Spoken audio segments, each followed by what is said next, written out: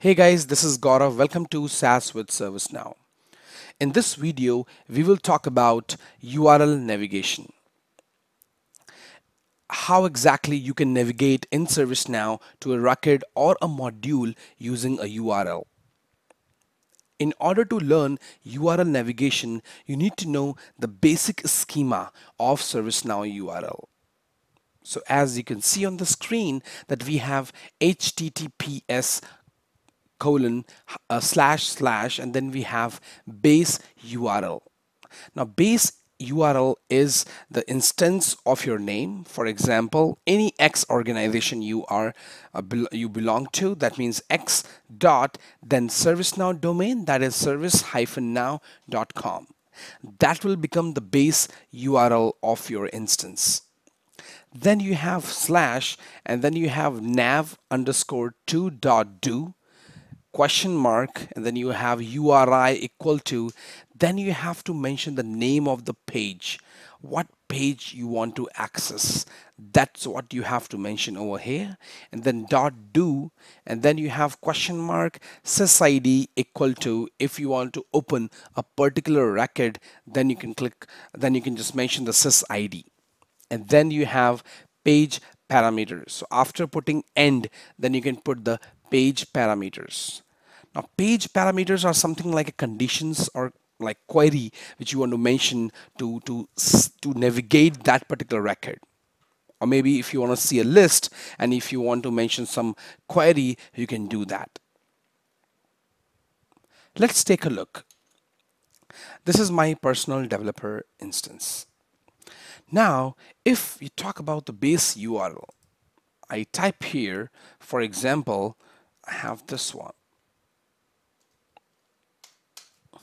So the dev 55285, this is my uh, developer instance name, dot service hyphen now dot com. Now this is the base URL. If I enter this, I will get the home page of ServiceNow. However, if I want to access some record, so let's take a look how exactly we can do that if I go here again, now you can see it automatically adds the nav underscore 2 dot do, then URI, and it says home dot do. That is the name of the page which we were talking about it earlier. Now, this is the exact URL. Now, what I want, what what if if I want to access incident? So if I will do incident dot do. Let's see what happens.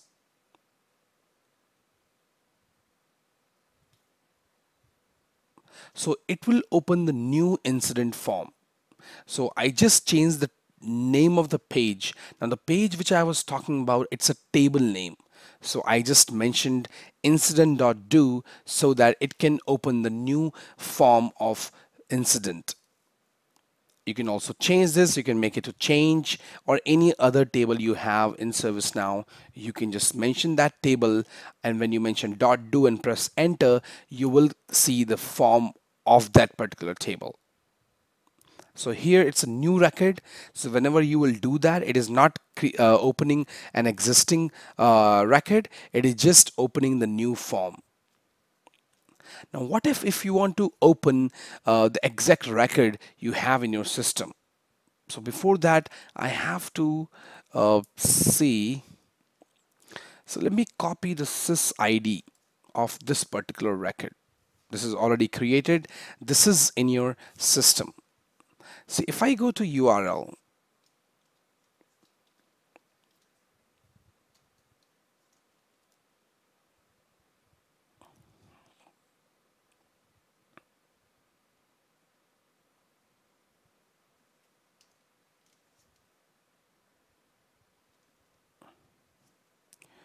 So I will just nav dot do question mark URI equal to incident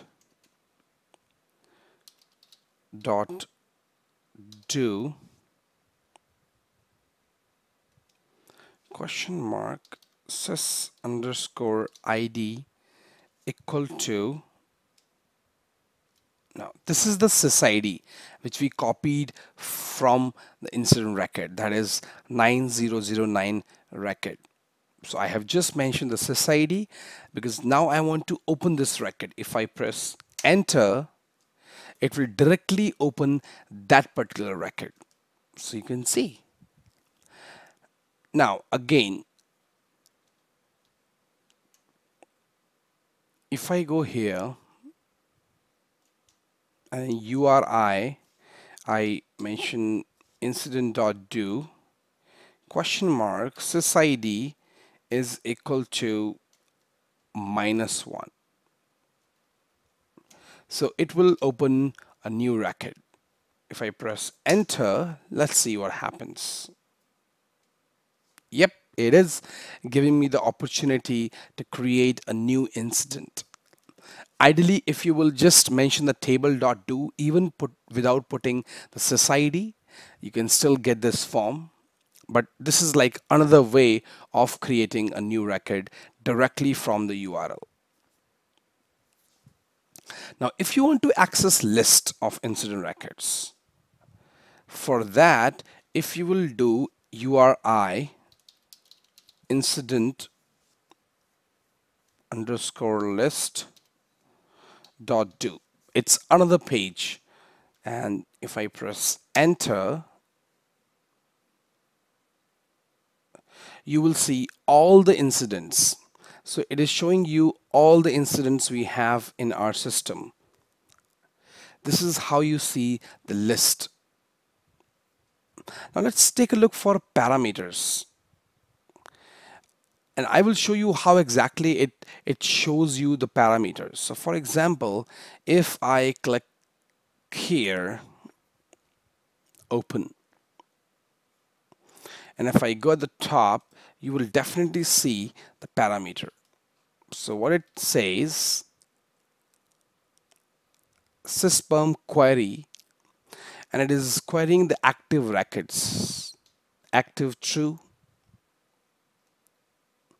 that's what it is doing. And if you will see here, it is also putting up the filter right here, active true. So this is how you navigate so sys uh, like page parameters are really important. If you want to put some query filter out some results with the help of URL navigation then you definitely need those page parameters so that you can put those values all the field values and then you can filter out the results. So in order to separate the page parameters you have end value or if you want to have like multiple queries for example active is true or maybe you want to have some uh, caller is that sys ID David Miller then you have to use caret and I can show you that as well. For example if I right click here show matching and if I go at the top see the new URL it would be different. And if I check here see it says scholar ID now the caret I caret character I was talking about it is this character which is just in your, on your keyboard it's on the 6 so when you press shift and 6 on your keyboard you will get this uh, character so that is how you get the results. So if you want to put multiple queries, then you can put this caret character and then you can put multiple queries as part of the filters and fields you want to put as, as part of your query. This is how you navigate by URL in ServiceNow. Thanks for watching my video. Have a great day.